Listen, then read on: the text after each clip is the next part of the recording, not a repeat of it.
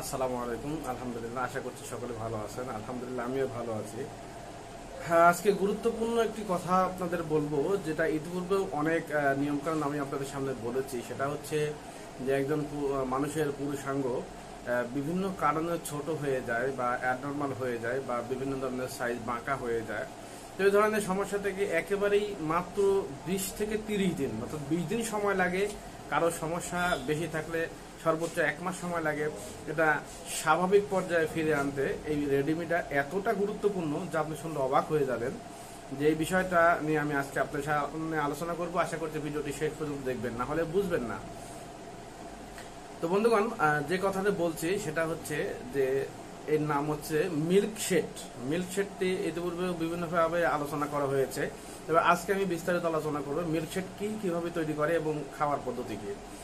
তার আগে বলে রাখি যে আসলে একজন মানুষের পুরুষাঙ্গটি নষ্ট হয়ে যাওয়ার মূল যে কারণটি সেটাই হচ্ছে যে মানুষের মাস্টার বেশন অর্থাৎ হস্তমৈথুন করার কারণটাই মৌলিক কারণ হিসেবে বিবেচনা করা হয়।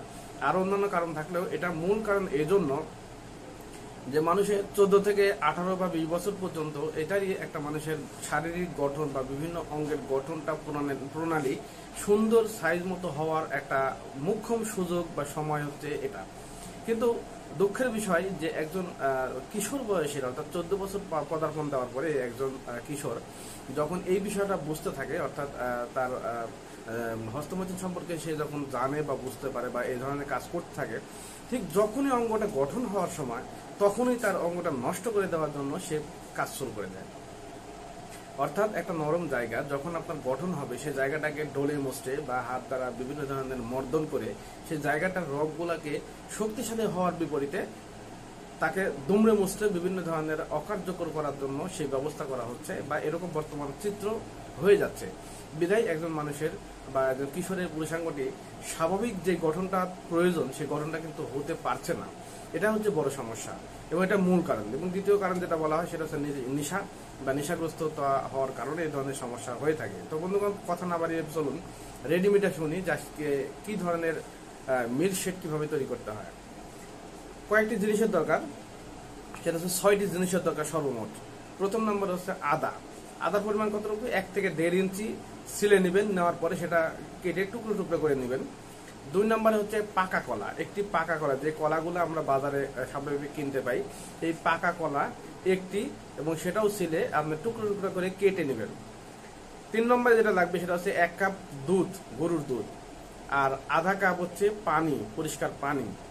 এটা হচ্ছে চার এবং পাঁচ নম্বর এবং ছয় নম্বরে লাগবে হচ্ছে কাঠবাদাম।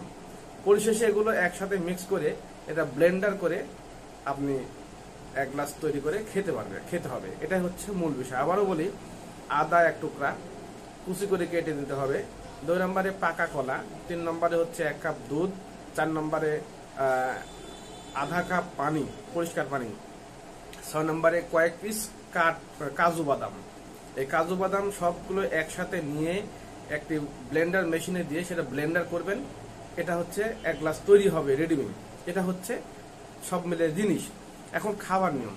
খাবার নিয়মটা হচ্ছে প্রতিদিন রাত্রিতে খাবার আধা, এক ঘণ্টা পর, ভাত খাবার এক ঘণ্টা পর এবং ঘুমানোর আধা ঘণ্টা আগে, অর্থাৎ ভাত খাবার মাঝখানে দেড় থেকে দুই ঘণ্টা আপনাকে ওয়েট করতে হবে। একেবারে সাথে সাথে ঘুমানো বা শুয়ে যাবে না। এটা হচ্ছে সঠিক নিয়ম। অর্থাৎ ভাত খাওয়ার এক ঘণ্টা পরে আপনি খাবেন, তার আধা ঘণ্টা পরে আপনি বা আধা ঘণ্টা বা এক ঘণ্টা পরে ওয়েট করার পরে আপনি ঘুমায় পড়বেন।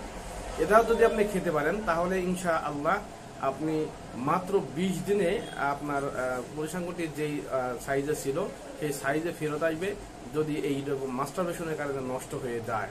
তো বন্ধুগণ, রেডিপিটা শুনলেন, আশা করছি ভিডিওটা ভালো লেগেছে। যদি ভালো লেগে থাকে, তাহলে অবশ্যই লাইক, শেয়ার, কমেন্ট আশা করছি এবং কমেন্ট করে আপনি আপনার মতামত জানাবেন। সাথে শেয়ার করে ছড়িয়ে দিবেন যাতে করে এই ধরনের ভিডিও আপনার বন্ধু বান্ধব বা আশেপাশে আরও কিছু লোক আছে যেগুলো যেহেতু এগুলো গোপন সমস্যা, অনেকেই এগুলো নিয়ে প্রশ্ন করতে পারে না তারাও যেন জানতে পারে বিষয়টা এবং সর্বশেষ যে কথা সেটা হচ্ছে আমার চ্যানেলটি অবশ্যই সাবস্ক্রাইব করবেন এবং দোয়া করবেন সকলকে ধন্যবাদ জানিয়ে বিদায় নিচ্ছি। আসসালামু আলাইকুম রহমতুল্লাহ।